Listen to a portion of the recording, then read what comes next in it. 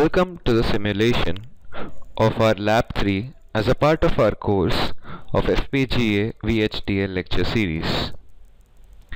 This was the code that we wrote for with select statement in our Lab 3.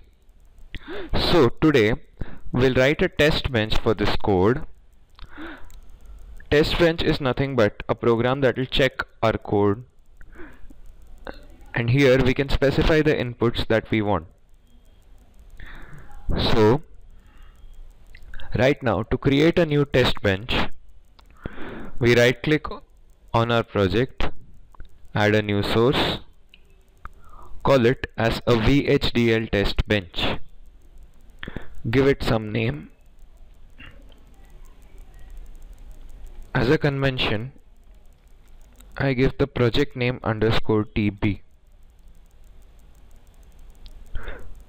click on next next finish.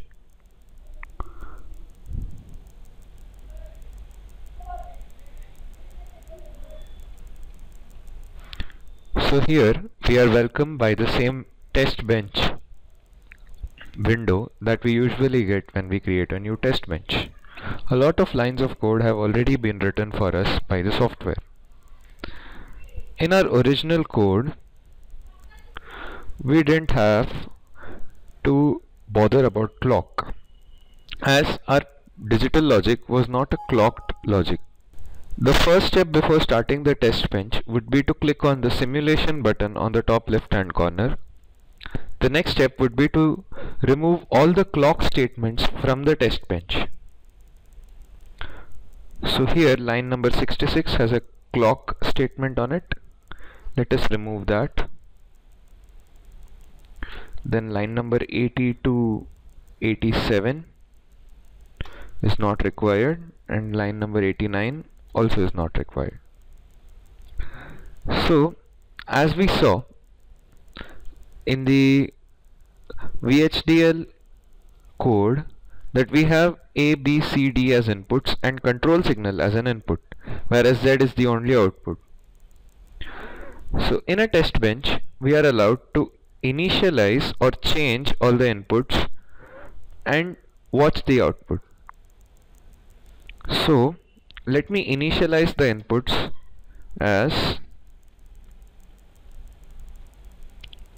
1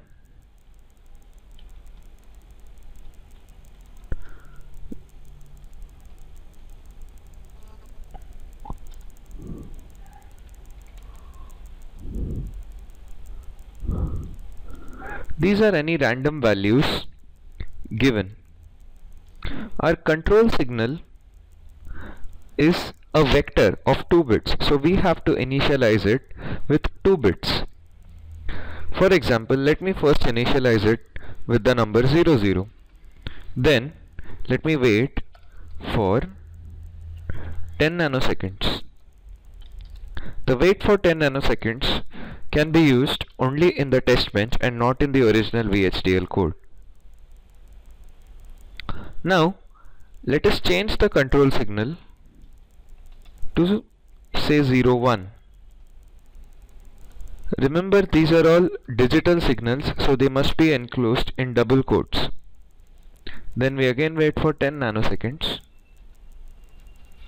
Change the control signal again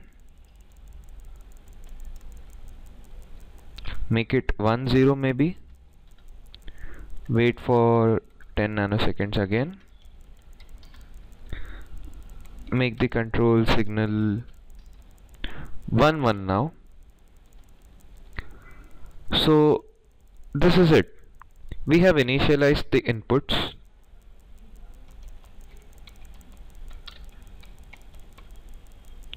And we are changing control signal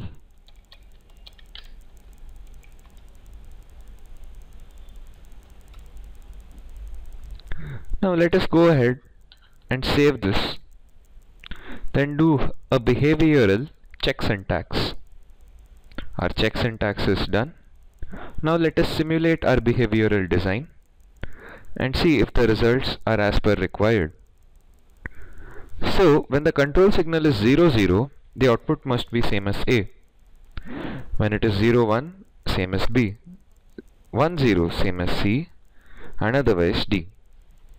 So here we go and zoom out of our window until we get a manageable scroll bar down here. And here clearly we can see that our output initially after the 100 nanosecond delay was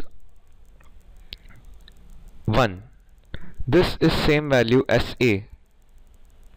So our output Z acquired the same values of A when the control signal was 0 0 when 0 1 the output acquired same value as B. 1 0 the same value as C. When it was 1 1 it acquired the value of D. Thus we know that our logic works and the simulation has proved that the with select statement that we have done in lab 3 simulation is working successfully and the hardware implemented is correct